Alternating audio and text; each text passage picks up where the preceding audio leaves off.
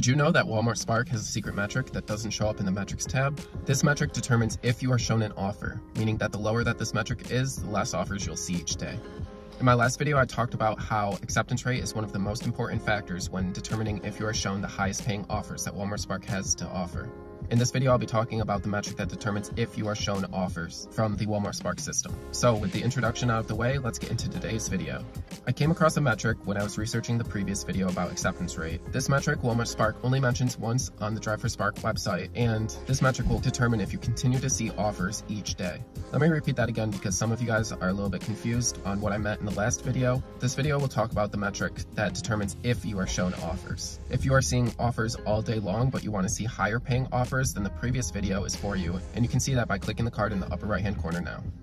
If you are not seeing offers all day long, then this video is for you. It's funny that with almost 6.5 thousand words written about what to do and what not to do as a Walmart Spark driver on the Walmart Spark website, that they decided to use one sentence that's 16 words long to talk about dropping or canceling orders and how this will decrease the number of offers that you are shown. I think they are purposely keeping this information about what affects drivers from seeing offers tucked away, possibly so that drivers don't know this information and so Walmart Spark has a way to deactivate drivers that are purposely canceling trips or canceling way too many trips and trying to game the system. Now you might be thinking, how do you game the system from this? Well, I found out something really simple and pretty stupid that I've heard of some drivers doing that increases the pay on orders. This will probably result in deactivation because you're costing costing Walmart more money than they want to spend on the order, and they will catch on eventually and probably deactivate you. I heard from a friend that does Walmart Spark in a couple of different zones, shout out to you, that at a store she was delivering from, she was talking to a driver and they were talking about how they accept an order and then they cancel the order and then they reaccept the order and then they cancel the order and then they reaccept the order and each time the pay increases on the order until they get to whatever bonus amount they want. So they purposely accept and cancel orders so that the order will get a surge price on it and this is how they decided to game the system and make the orders that they get higher paying. I don't know how long they could do this for before they get deactivated, but this should decrease the number of offers that the driver is shown each following day because they're canceling so many orders. Anecdotally, I've accepted express orders in the past. One day I had four of them, and I absolutely hate express orders because I hate sitting there waiting for the person inside the store to shop the order and bring it out to me. So I would always cancel these orders, and one day I had four of them, and I canceled all four of them that I got. The next day, I went to Walmart and started to work, and I did one, maybe two orders, and then after that, I sat at the Walmart for over four hours watching drivers pull into the Walmart, pick up location,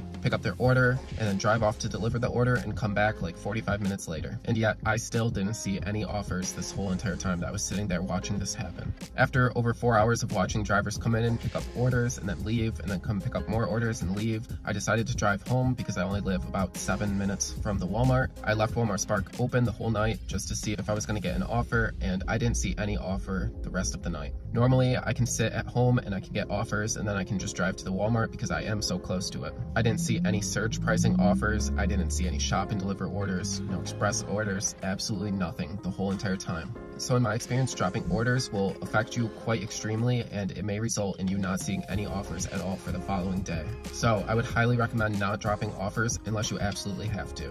If for some reason you do have to, like if the order is too large and it's not going to fit in your car, or if the order is taking too long to come out to you or something, it's still getting ready after you've been sitting there for like 30 minutes, then I would highly recommend just calling support and asking support to cancel the order for you so that way it doesn't impact you as much as you clicking in your app that you would want to cancel the order.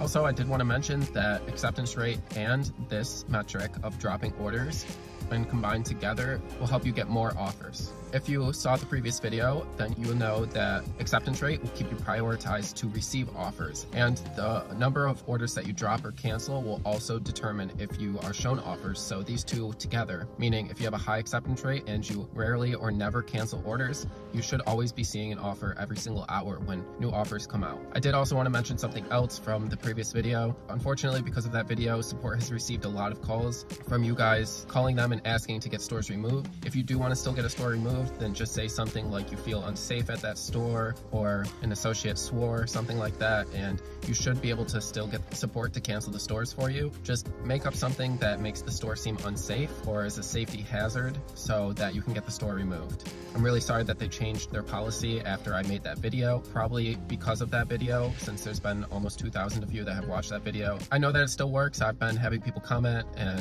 I've had a friend do it. It's also about the person that you talk to on the phone. Some people are helpful, some people are not helpful. So if you get somebody that sounds like they're not gonna be helpful, then just seriously put your phone on mute for a couple of seconds and then just hang up. That way they thought that they lost the call and then just call right back and hopefully you'll get somebody that's more willing to help you. So I hope that this video, as well as the video about acceptance rate and getting higher paying offers, help you guys out to get more offers and get higher paying offers. If you like this video, please give it a big thumbs up and consider hitting subscribe if you like this content. I'll see you guys in the next video.